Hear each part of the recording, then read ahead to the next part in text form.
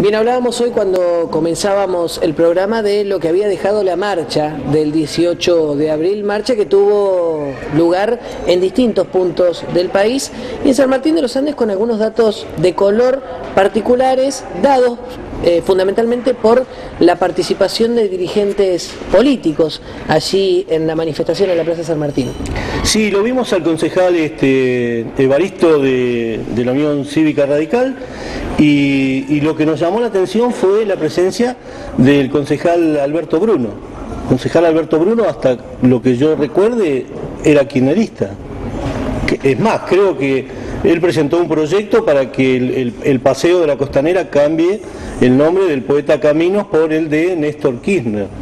Entonces no, entendimos muy bien en, calidad de qué eh, se encontraba Alberto Bruno, si, si era kirchnerista o si dejó de serlo, no nos enteramos. Así que eh, es un dato de color, pero que aquí hay que marcarlo, porque mucha gente eh, que estaba en el lugar este, nos, nos preguntaba eso. Bien, ya prácticamente llegando al final de este nuevo programa, habitualmente Olarán para el final se guarda algunos temas o algunas sugerencias para lo que puede llegar a venir en el transcurso de esta, de esta semana que estamos iniciando. ¿Qué trajo para hoy?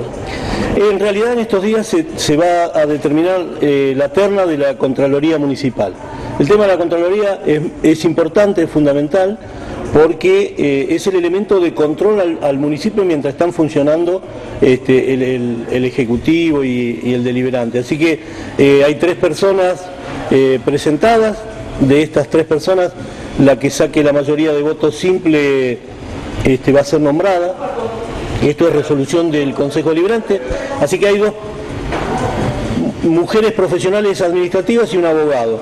De estos tres va a salir uno, va a ser el próximo Contralor. Y como siempre un saludo para un amigo este, que a veces se enoja mucho conmigo, que es el Tata Salamanca, un joven trabajador de la UOCRA, este, que como digo a veces se enoja mucho conmigo, pero bueno, yo lo quiero mucho, sé que mira el programa, así que le mandamos un, saludo afectuoso. Que ayer justamente fue el día de los obreros de la construcción, así, que aprovechamos la pantalla para, mandar un saludo grande a todos los muchachos que se dedican justamente a, la construcción. Seguro, seguro, y agradecer absolutamente a toda la información que nos está llegando, todos los mails, este, así que nada, el compromiso, la, página positiva ha tenido mucho éxito, son muchas las instituciones que nos piden salir, así que este, nos comprometemos como siempre a estar con ustedes.